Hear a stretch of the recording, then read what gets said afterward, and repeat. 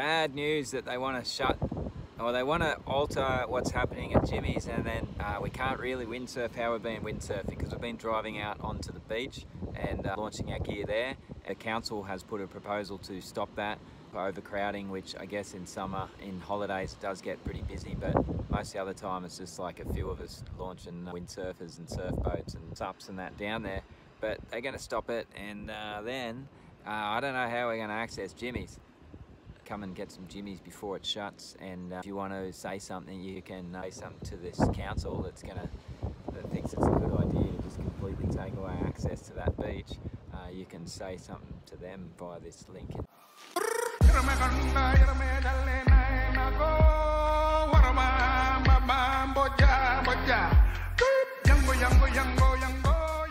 Bottom, have say. Go to the link and can tell council that it's a good windsurfing spot, should stay open for windsurfing. However they do it, maybe they got to build more parking and access down there at that beach. There's none in this town, none.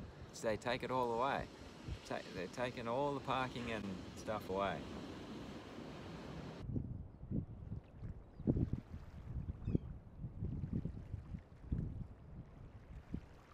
He actually likes it the, the way we're currently accessing it because he can come and have a bit of shelter and get him out of the way. And I don't know, if they need to stop driving on that beach, it's a shame because so many people like to do this vehicle dependent activity on the beach. Windsurfers, windsurfers, fishermen, activity permit is what should be required.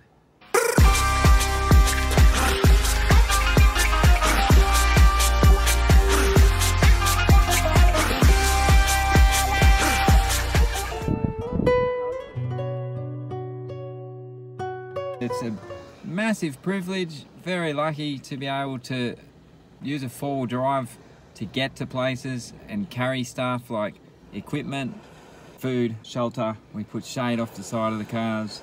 It looks like the council is saying that wants to combat overcrowding at Jimmy's Beach.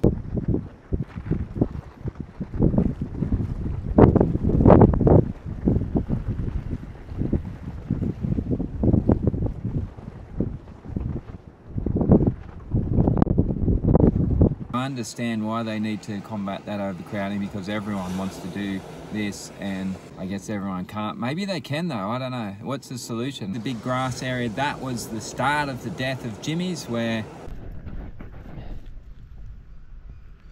These bollards were the end of the last era of Jimmy's because behind me is where everybody used to park and rig up and stuff but uh, about 13 years ago the council decided to stop that for the health of these trees. The trees were suffering from soil compaction apparently. Jimmy's was a massive windsurfing community. Uh, it held three events a year annually, big events. It was top three guys in the world here. Two, three, top in the world. They were all here. And a bunch of people living here that were into windsurfing and that. And then when they stopped that grass rigging area, that was it. Everyone left. And uh, now my brother and I, Mob Dog, plus a couple couple of others that live in town were able to do it by getting down there on the beach. But down, that's what they're going to stop, getting down there on the beach. So now we can't. It's going to be hard to get there. Has anyone got ideas that how to get there? Rickshaw, get him, get like five, ten dogs, and uh, pull a rickshaw with my windsurfing gear down on the beach with food and. Jimmy's.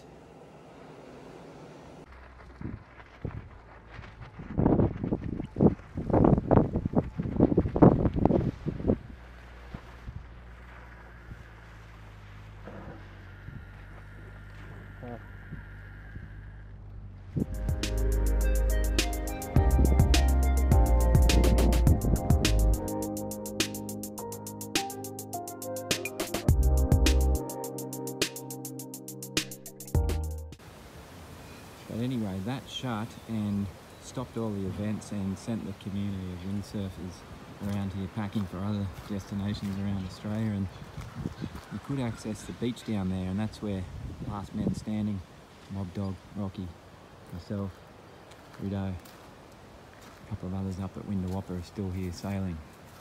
But uh, they're gonna, they're talking about stopping that access down there. So yeah, not going to be able to get down anywhere near here to sail again. Don't let him do that. Eh,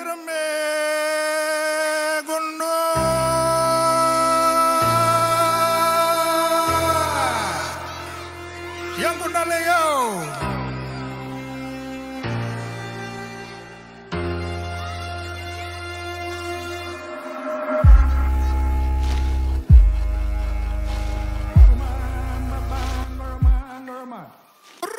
me convierme en el